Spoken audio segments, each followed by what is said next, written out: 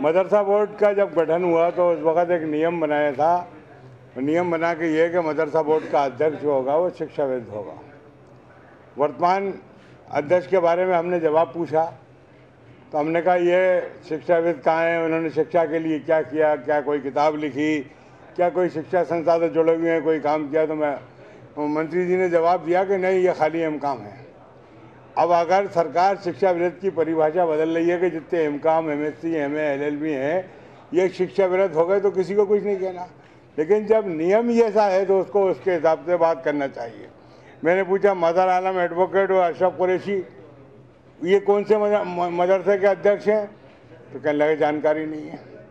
मैंने उनसे पूछा कि, नियाज मोहम्मद और समा, और नियाज अहमद और सलीम कुरैशी, ये कौन से समाज सेवी हैं? उसका जवाब नहीं।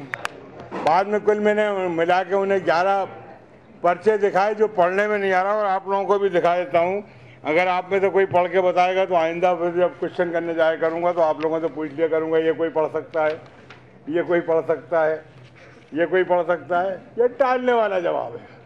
कुल मिला के ये मदरसा बोर्ड के माध्यम से अल्पसंख्यकों को, बच्चों को शिक्षा मिलती है। और भारतीय जनता पार्टी की सरकार नहीं चाहती कि अल्पसंख्यक बच्चों को कोई शिक्षा मिले।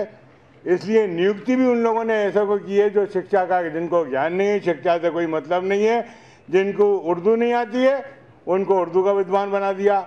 मुफ्ती अब्दुल रहीम साहब एक अरबी के ज्ञाता हैं, वो तो सही है, उसके अलावा जितनी नियुक्ति हैं सब मतलब अपने कार्यकर्ताओं का मनोबल बढ़ाने के लिए और मदरसा बोर्ड की शिक्षा का मैार को गिराने के लिए। मंत्री जी बोलने के साहब अभी केंद्र सरकार ने हमें बहुत सराहना किया है। तो मैंने कहा, पिछले कार्यकाल का सराहना था वो।